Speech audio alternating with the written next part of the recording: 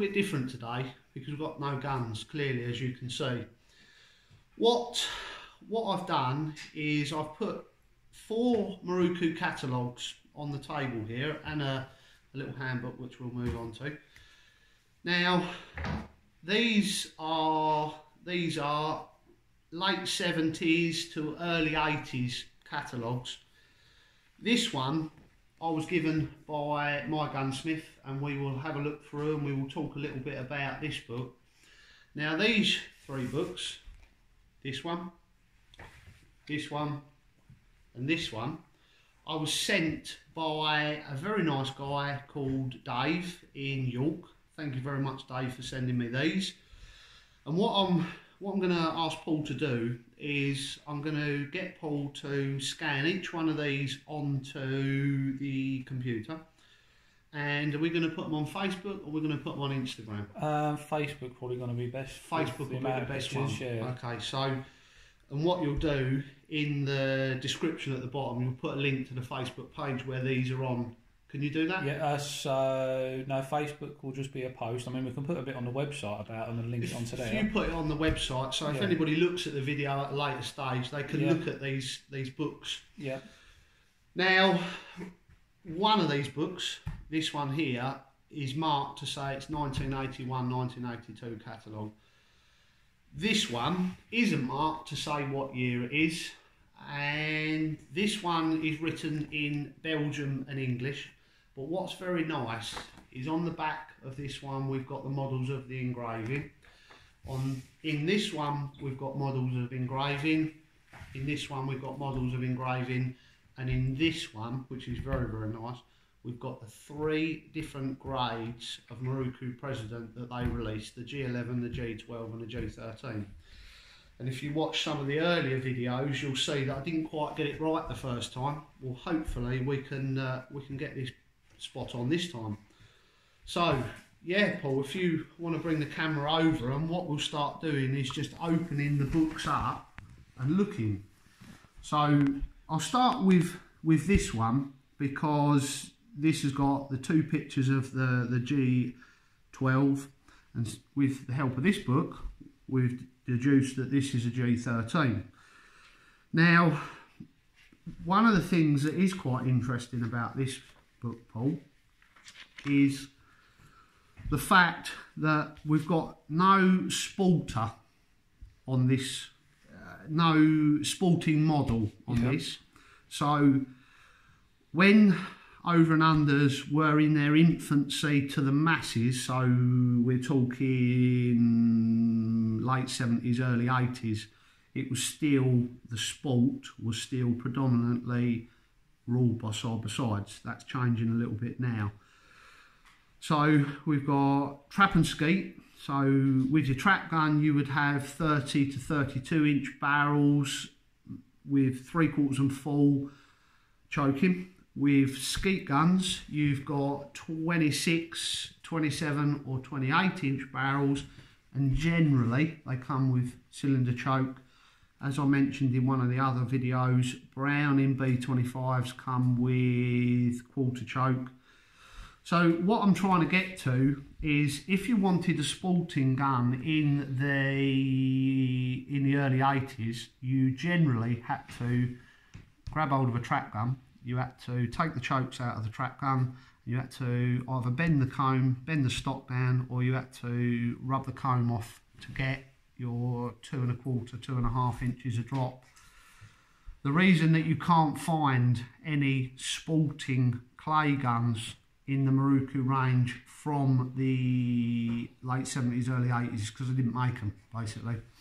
So we've got this book here, and I'll move on to this one at the end, Paul. Yeah. So I have had a good read through each piece of this. Now, I don't read Belgium. I don't read English very well. That's either Belgium or French, basically. And yeah, what it tells I you. have when, a clue either. No, somebody will know, Paul. But when you read through the paperwork here, it's just a, a very quick outline of the Miroku factory, basically. But we will put a video on the uh, pictures on the internet of each page so people can see them. let's open it up. So with this one, Paul, you've got a three eight hundred game in a chase grade four. Okay. Mm-hmm. Now, when you look very closely, this is the engraving that we done a video of a 3700 HS, I believe it was. Yeah. And again, this is just a quick overview of the guns themselves, the game guns 26, 28, 30. These are your specifications for drop and for chamber length and barrel length and chokes and ribs and weights and everything. But as I say, if you want to read them, if you can see the pictures on the internet. And what we've got now, the lower grade stuff, Paul, the, the grade ones, the grade twos, they don't interest me as much as say this 3800 HSW, this 3800S, this 3700S. Now, that's not to say, and I've never seen one of these guns, uh, 3650.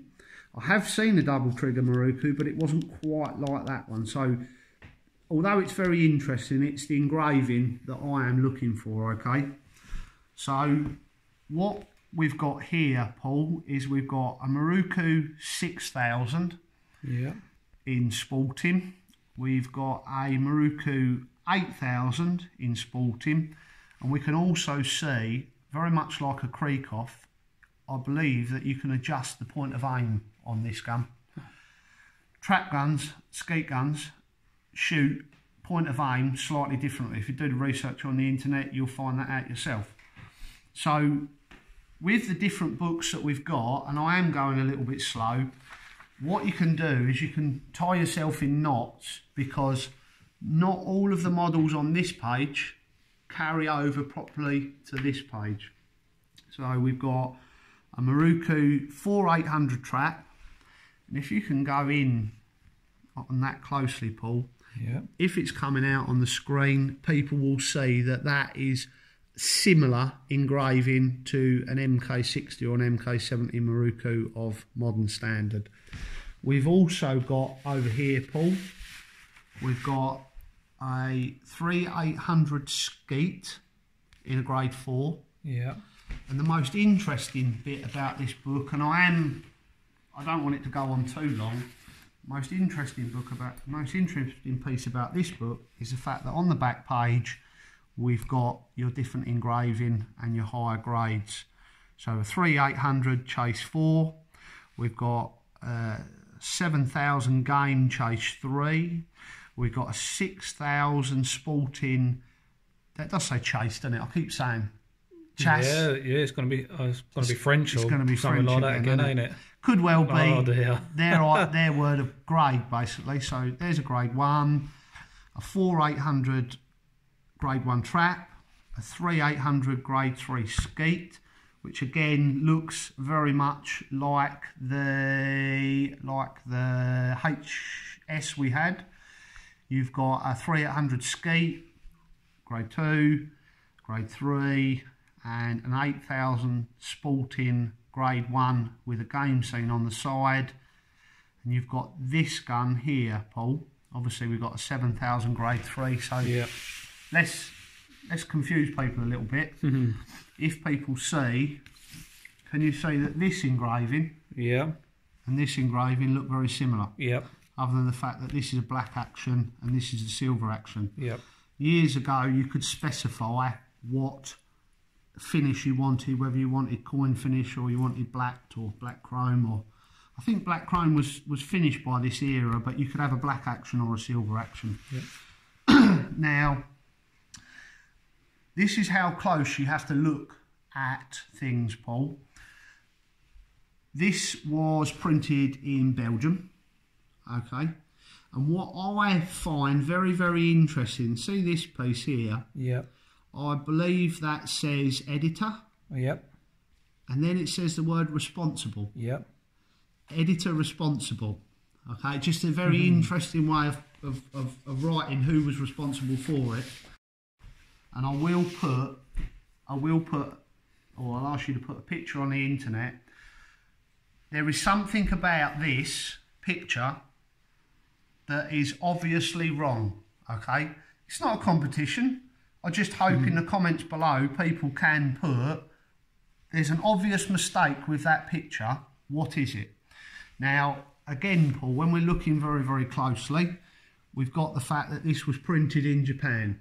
Yeah. All right, this was printed in Belgium, this was printed in Japan, and we've got your address of the Miroku Firearms MFG Co. And we've got a business address, and I believe that says Tokyo on it. It does. Yep. And then if we go down a little bit further, and it says head office or main office, headquarters, Yeah. and then we go city, Kochi, That's it. prefecture. I believe the Japanese word prefecture is what we would call a county here in the UK. so let's put that book away. Let's open this book up here, which is a, a Miroku book. I don't quite know what, what date because it isn't marked, but this is very much like a Miroku MK70, MK60, MK38 grade 5 engraving and on the front page here we've got a Miroku HS which we had in the earlier book. it tells you a little brief history on the manufacturer to say they started in 1893 and then it tells you that they started making guns on the Miroku on the Browning style in about 1966. It also tells you here somewhere, Paul, that they went into spear guns. Now, like I said, I don't read very well. Yeah. I- Somewhere on there it talks about spear guns. Yep. It's a fancy way of saying harpoon gun for whaling. so there's lots of different things that you should be looking at in this book. Now we've got here. Does that say Damask?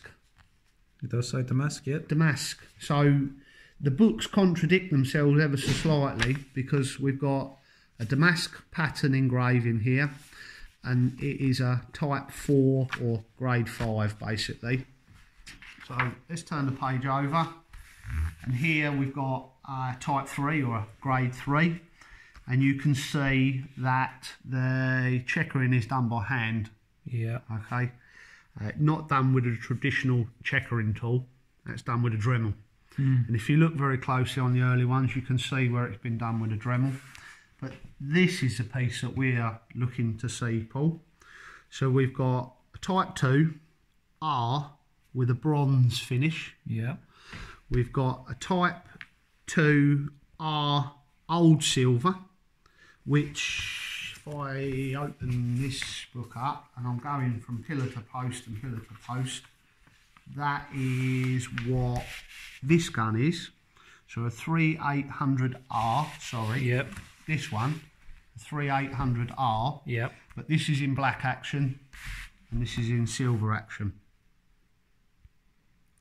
Now we've got again when they start to contradict themselves ever so slightly, is we've got a Type Two R. Sorry, down here I was still looking at the same one. Type Two W, which is Yeah. what we had in this book the other day. Yep. And I'm not, I'm not going to go for every single one, Paul. I'm, I'm literally just showing people the differences. We've also got here a, a T3S game sporting, uh, game shooting and sporting there. We've got uh, Type 3. So with this one, we've omitted the HS. Yeah. Now, no, we're here, HS. I keep moving down. Type 4 SW and HS, and then this is the highest grade of the standard Mirokus that you can find, which is a HSW. Hopefully, uh, we can move on to the HSW when I've sourced it. We've got a little description there, Paul, about Browning Invector chokes. They don't look like Invector Plus, they look like Invectors it's as I keep saying, it's the engraving we're looking for, Paul. It's Yeah. it's not so much this. Now, I'm going to talk very very briefly about this gun This is a Miroku 3000 that was bought out in the early 80s. Not my favourite design. Um, there is a few manufacturers, one specifically that's taken this design to a very high level. This is similar to a Remington 3200, it is similar to a Valmet, and then you've got a German manufacturer that takes this to a very high level. Not my favourite gun, nothing wrong with it, but let's move on swiftly, I think they call it. So we've got Miroku 4800 and 7000. Again, we will move on a little bit because we're going to get, or Paul's going to put some pictures on the Facebook. Yeah. So this is similar to a Miroku MK70, MK60 of, of today. You've got a grade 3 there. You've got a 7000 grade 1 trap. You've got a grade 3 game. You've got a, interestingly enough, why this one's called a 4800 trap and skeet, a trap and sporting, and why this one's just called a grade 3. Yeah. Interesting. Yeah. Uh, and now we've moved on to this one where it was a 3650 it's now just called a grade 3 trap and this oh no let's see what else we've got in this book. Uh, we've got a few trap guns paul talking about trap guns basically. Uh, what they are why you should choose a browning or a miroku because they are one of the best handling guns in the world. And Miroku sporting range again with the models, the barrel lengths, the stocks, the fore ends. And this one I haven't seen, probably because it was quite a lot more money and people didn't feel they wanted to buy it. Hmm. and that is this one. So this book is early 80s and we've got barrel weighting systems all that time ago, Yeah. which I've not seen one of those. And then we move on to Miroku game guns, okay? And again, we won't go too much on them because we're going to ask Paul to put a picture on the That's it, we'll get all the pictures on the website. This is the most important one of the lot, Paul. And as I said, I was given this book, I, I was loaned this book by a very nice man from York called Dave. You'll know who he is. And this is the reason why I'm very pleased to show you this book, Paul, because this is your BC Miroku custom grade Yeah. as we had the Miroku president the other day. So if you can go in very close, Paul, we've got a G11, which is scroll engraved. Yep. We've got a G12 here, which is what we had uh, a couple of weeks ago. Now, interestingly enough, if you come back to here, Paul, this is the only Miroku president, and as I said, we've had a few. It's the only Miroku president I've seen with a recoil pad fitted from the factory. And we've got a G11, a G13, sorry, a G13, which the, the pictures are clear enough. If anybody has a look on Google and just types in Browning Midas grade, Browning B25 Midas grade, this gun will come back. Okay, as we spoke earlier on about artistic license. Now this is a, a 1981-82 book. If you come up here, Yep. Right there. it's Yep. marked to say it's 81-82. Yeah. Now, I'm trying to think of things. Again, this book, Paul, and this book, these Yep. two books say very much the same thing about the Miroku company. They are in Japan. Browning went to them because they use high, high, high quality production. Miroku is one of the highest in the world. And yeah, G11, G12, and G13. I had a, a very brief conversation with a guy that loaned me these books to say that he was in the gun trade for 35 years and he tried to buy one of these guns when they were new to the market in the early 80s and he could never source one. Hmm. So even though Browning are offering this, it has always been a premium product that has been hard to find the Miroku President Ranger stuff. There we go. Yep. And what we move on to here is we've got BC Miroku 6000 trap. And if you come in very closely, Paul, at this, people will see, if it focuses, that that is almost the same engraving. It's pretty well close to what you're going to get on a grade 5 Miroku MK38, MK70 of, of modern standard. You've also got down here a grade 3 6000. You've got a grade 1. And then, interestingly enough, Paul, this is a grade 3 and this is a grade 3. If you go in on the engraving, you will see that they differ in the fact that one hasn't got any engraving on it. No, yeah, So how could you yeah, call it a grade 3? Yeah. And then this one has got engraving on it. Hmm. And you will also see that we've got a high step rib on this gun. So this is 1981 82. High step ribs are not a modern thing by any standards. And here, these are interesting, Paul, because I haven't seen any of these. Yeah. These are called, uh, they're called special chokes here, but they're called spreader chokes. Okay. What they do is they spread the shot as wide as they can. They were banned very quickly. Well, that that was on that six thousand skeet. They are multi chokes that screw in. Oh, so they're a multi choke that you could buy called a spreader choke. So let's ho- let's move on a little bit further. And what we will do, Paul, in a minute, if people can stick the video, is we'll move on to this. Yep. And this has got some real special stuff in it. So we've got 3800 grade 1, grade 2, and another grade 1 in your black action and your silver action. As I said, you can specify between the two. You can also see that this one has got a beaver tail fore end on it, Yeah. and this one has not quite as beaver tail, to be honest with you. It's not Schnabel, obviously, but it, it, if you could see the picture here in front of you, you would see that they are two different, and this one's got a Monte Carlo stock on it as well.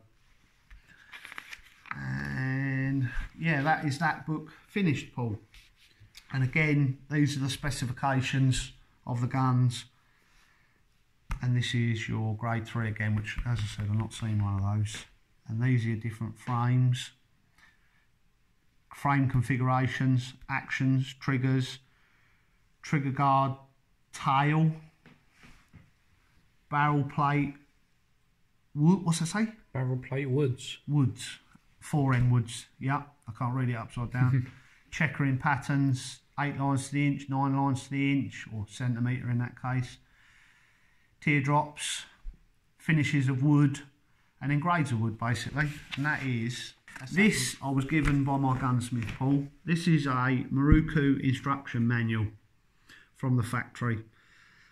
I've had a good re- read through it, and it's got some very interesting pieces in it. And it has somebody asked us about a Miroku ORE. Yep. This is the inspection certificate. And again, what I'm doing is grabbing the gun out of the rack here. Mm-hmm. That's a, an inspection. That's the one I'm looking for. That's an inspection certificate, Paul. And what I'm going to do is I'm going to show you on this gun what I said in one of the other videos was I'd never quite worked out what these markings were for. Okay, so the top marking, if I read it to you, Yeah. I'll have to read it to you. The top marking is proof mark showing all the necessary tests have been done, which is top one. this one. And then the second one with the SP, in fact, the SP and the MP, even though they're on top of each other, on this one, they look like they mean the same wording. Okay? Yep. and that is that is proof marks on smokeless powders pressure proof oh no so mp is proof mark on special smokeless Yep. no oh, hearing me proof mark on smokeless powder is the mp and then the sp is pressure proof basically Yep. so what I said is I didn't quite know what it went. Well, this book here tells us. You this this tells us. And you can see here, which again is interesting, Paul, is you've got Miroku Firearms Co. Tokyo, Japan. Yep. All right. Now, this little book here, Paul, is full, full, full, full of very interesting stuff. On the front page here, we've got Miroku side by sides. We've got uh, Miroku over and under, which is going to be uh, HSW. And we've got a little breakdown of what they are foresight bead, barrels, fore end, uh, catch lever, action, trigger guard, stop, top lever, safety catch. And we've got assembly and disassembly. I won't go through it because most of the people that are watching these videos will know how to do it. And as I keep saying, if you look on our internet or our website, there will be a picture of each one of these to see. This this is the interesting bit for maple because I didn't know that Miroku made snap caps. I've never hmm. seen a Miroku snap cap. And we've got Miroku cleaning kits. Yeah. The reason that I'm pointing these cleaning kits out, Paul, is because in later videos we are going to move on to guns that have come from the factory with these cleaning kits. Steve, just do me a favour. What does NB mean? Because I thought it meant newbie. Shows you at In NB. no well. Note well. Thank you very much, mate. So, please, people read this, but Paul, through that screen, because I can't read Yep. it very well, what does number four say? Uh, on any occasion, the gun must not be trained on a person, thus to make it your habit. Okay, and I thought that that was a lovely saying. All Yeah. right, we won't iterate any more than that, but I thought MB meant newbie, and Steve tells me it means note well, which is Latin for awareness, Steve. Mm-hmm. Awareness, yeah, good, good. so there's just one little piece of the book there, and we've got a description of what the safety catch does basically the S, the O, and the U again, I haven't read this. I have read it, but I haven't read it in the last couple of days, so I won't tell you what that says. Now, again, Paul, this is what's very interesting about this book is we've got the fact that a Miroku gun case, what's it say? This is a must for any owner. Yeah. Now, the reason I'm pointing this out, Paul, I have only ever seen one of these cases. And the case that I've got has got a particularly, and I mean very unusual Miroku in it, and we will move on to it. Also, what is annoying is that has got a picture of a Miroku I've never seen in it. All right, see that gun leaning Yeah. there? Yeah. The the you can't see it. No. But what I know about Mirokus is that is not a standard Miroku, and I would love to see what that gun looked like, but you can't. So it's just showing you. I also didn't know Miroku made scopes. No. Okay, they look like typical Japanese quality of the late seventies, early eighties. Yeah. Uh, but they're they're out there if people find them. Also, Miroku made re- reproduction guns, Kentucky long rifle, and we've got uh, 101, a model 101 standard, and a model 400 deluxe. The most interesting bit about this book, Paul, is this in the back page. Let's start at the bottom. Let's start at the bottom. We've got a model MSSE. And again, you can't see them 100%. We've got a Model 500. This is your side by side range. Somebody asked us, thank you very much for asking, about a Model ORE. Now, I don't like to say it's at the bottom of the page, but that's where it is. It's uh, entry level. So we've got an ORE, we've got a Model 650, we've got a Model 700, we've got a Model 800, We've got a model 800W, which is what we done on the little skeet gun the other day. We've got a model 800S. We've got an 800 SW, and then at the top of the tree here, we've got a model HSW. Yep. Okay, so hopefully the people can stick these videos to the end because that was a long one, wasn't it? it was. Even Paul's getting bored of holding the camera now. So yes, Paul. It's also have a look on the back of there. So this is the this is the instruction book case. And what age was that? This one Yeah. I couldn't tell you, Paul. I would think again 78, 79, something Yeah. like that. Not quite the 80s.